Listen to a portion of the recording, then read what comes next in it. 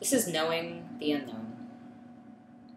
Our trouble is only the trouble anyone, all of us, thrust from the ancient holding patterns down toward runways new built, knows. The strain of flying wing by wing, not knowing ever if both of us will land. The planet under the clouds, does it want us? Shall we be welcome, we of air, of metallic bitter rainbows, of aching wings?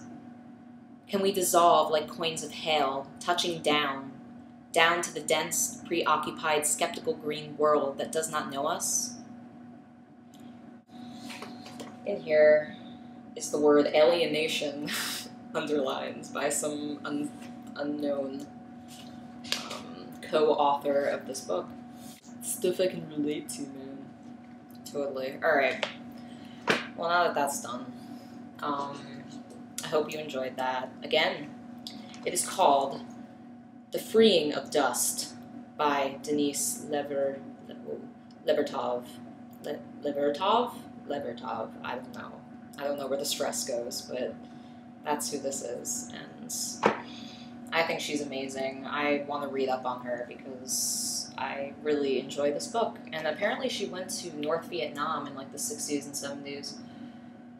Um, and I think that really affected her, and she she saw she was impacted by this tragedy that she saw, and she just wrote about the human condition. All these poems are really just about the personal human condition, how it affects the personal human condition, and just it it goes it's like there's so much isolation, and yet there's so much connection and I think it was uh, Donald Barthelme who, in one of his stories, there was this one quote that it was like, "How can we ever feel alienated without once feeling connected?"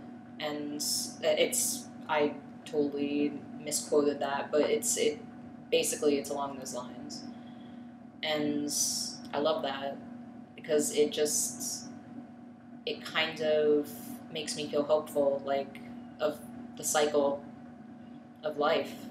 You know, I feel alienated, but it's like in order to feel alienated, we have to have felt a really strong connection, and we're gonna feel it again, and then we're gonna feel alienated again, then we're gonna feel connection, and it so totally is a cycle. You know, we come out into the world and we're first connected by our family, you know, our parents, that is a very strong connection, you know. And it's one that can never be broken, you know. Um, no matter like what tragedy befalls a person, you know. I'm not I'm not talking about like I'm just talking about in general. It's it's a connection that is very strong. With when tampered with, it causes much strife. But um, but yeah, I really I really believe in the cycle. It's funny because everyone in my household is listening to me making this video in the bathroom and they're just like, oh, Emily, she's always been such a crazy one. They think I'm like talking to myself right now.